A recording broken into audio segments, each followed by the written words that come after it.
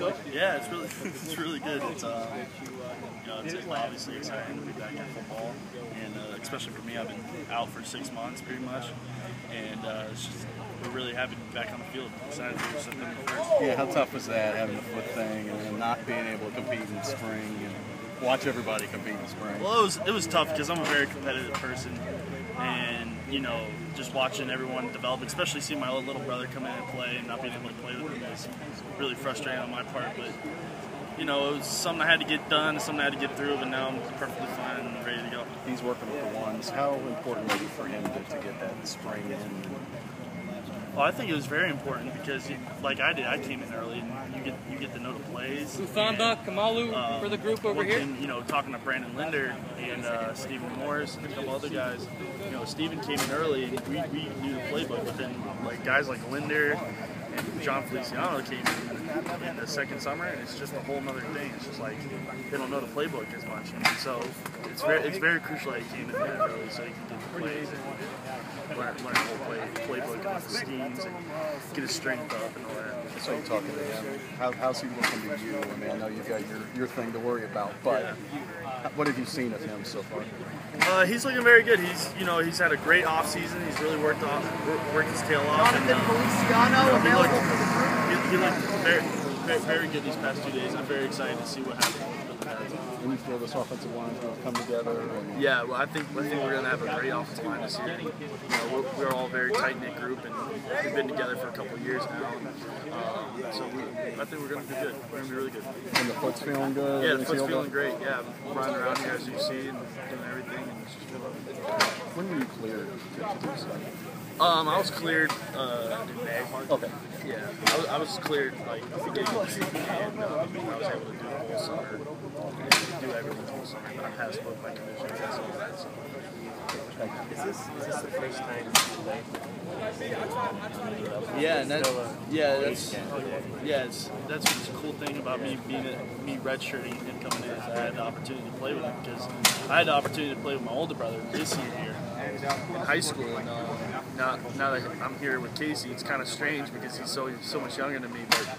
Uh, to think that he was in middle school when I was here, it's kind of crazy. But uh, he, uh, you know, it's really exciting to have that. You know, it also helps with communication because we've grown up together, so he knows exactly what I want. What's the what's the biggest thing you try and preach to him that you need to do at the college level to, to be successful? Uh, probably the biggest thing I preach to him is uh, probably study film and uh, get to know the plays because when you get the terminology down and you understand defenses and you understand all that, the strength will come because Swasey's going to get you there. Swasey's going to get you to what you need to be strength-wise. But if you can master reading a defense, master reading play, you're going to be fine. I guess just the communication with Isidora, kind of a new guy that you're working with. So Uh, well, Dan- Danny's my roommate, so we've Okay. we're, we've been together for a while now. And, you know, uh, it's not that big of a transition. Of course, it's, it's sad, you know, with uh, losing Brandon Linder because we were such a tight knit group of three inside guys. But Danny has filled that spot right in, and we, we've been communicating just fine. And you're talking earlier, um, you know, starting first day of practice and seeing your, your brother as the starting right tackle. Talk Yeah. a little bit about that experience. Um, you know, he I, I think he deserved it.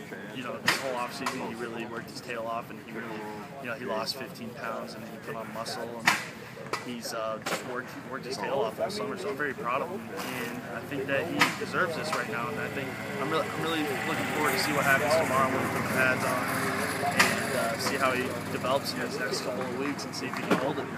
Now, you know, Taylor Gadbois obviously is not, you know, take, taking that so lightly and Yeah. is hoping to come back and, and reclaim that job. Um, Mm-hmm. Pretty, it'll be a pretty intense competition. Uh, you and your brother. Yeah, and you know it's it's a great competition. It's going to make our offensive line better. Uh, e- both of them are, are going to perform better because of it, and it's, it's going to be really interesting who ends up at that spot. But it, you know, either or, I know that they're going to do great, and um, I'm not concerned about that spot because competition is going to be the best out of both of them. No, um, I got to believe the offensive line in particular can't wait to put the pads on and, uh, and get that part of practice going. Yeah, yeah, we can't wait. You know, this whole uh, seven on seven and light hitting thing it ain't fun for us. it's more of conditioning for us. But we're, we're excited for that. All right, Shane, thank you. Appreciate it.